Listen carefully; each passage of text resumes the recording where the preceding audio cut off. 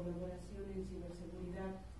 Eh, como he sabido, hace algunos meses atrás aquí en México hubo todo un escándalo eh, por estos equipos eh, denominados Pegasus, que vendieron empresas israelí a México por cuestiones, para cuestiones de seguridad y aquí se ocuparon para espiar a personas públicas.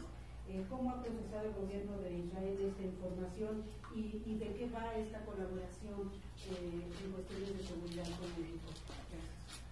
En primer lugar, creo que tenemos que tener siempre muy, muy claro que hay una eh, distinción entre el gobierno y el sector privado, lo que es política de gobierno, eh, acuerdos entre gobiernos, lo que se llama G2G, y eh, acuerdos o, o, digamos, eh, eh, negocios, ¿cómo se dice? Deals.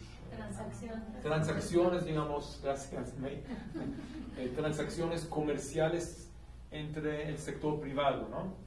En el caso que usted mencionó, se trata de un tema comercial, empresarial, de empresas israelíes que junto con otras empresas de otros países participan aquí en el mercado eh, y no tiene ningún involucramiento o participación del gobierno.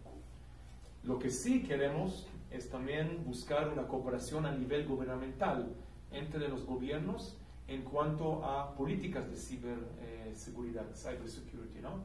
Eh, y ofrecer, por supuesto, tecnologías y empresas israelíes que pueden también apoyar a esta política. Pero son siempre dos vías separadas y muchas veces ni eh, eh, conectadas, ¿no? Entonces, eh, esta sería la respuesta a su, su pregunta.